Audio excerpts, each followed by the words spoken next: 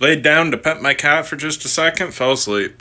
It's what I get playing with my pussy. Anyway, to my audience, any of you guys ever seen this exact sentiment from me before?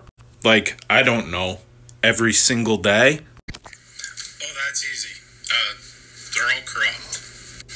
They exist and got their power in a corrupt pro corporate system, one that allows the people with money to exploit the people without money. But primarily, it's because we don't get involved, either at the local level or the federal level. You need to be contacting your city councilors, your members of provincial parliament, your members of parliament, and yeah, contact Trudeau.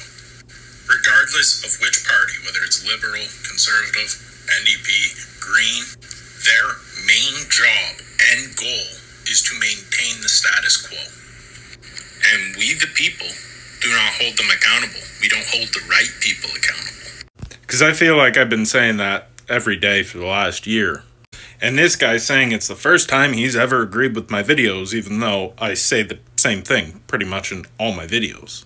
I criticize the Conservative Party, yeah, because they deserve lots of criticism. So do the Liberals, so do the NDP. But more than that, the ones that deserve the most blame are our provincial governments and our premiers, regardless party. So let's watch a few more videos, alright, bud? But not only that, I mean, we need to get more involved at the local level and apply pressure up the chain, from the municipal to the provincial to the federal level. And most of the stuff that you guys complain about that impacts our day to day lives housing, healthcare, education all those things are the responsibility of our municipal and provincial governments.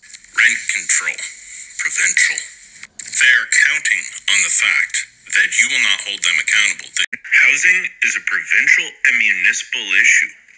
It's also a systemic one, one that has existed for decades. You won't ever be able to afford a home because of both pro corporate parties. Uh, It doesn't matter what governing party's in power. Learn how our system works. Start applying pressure at the municipal, provincial, and federal level. Contact your MPP, your MP, and your city councilor. Trudeau and the rest of our sitting MPs, regardless of party, aren't free from fault either. Every single one of them could have addressed Loblaw's grocery store price gouging. They didn't. He was in front of Parliament. They didn't do shit.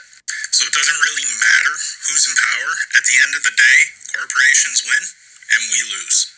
Every single member, whether they're conservative, green, bloc, liberal, NDP, they can all introduce a bill, and none of them have.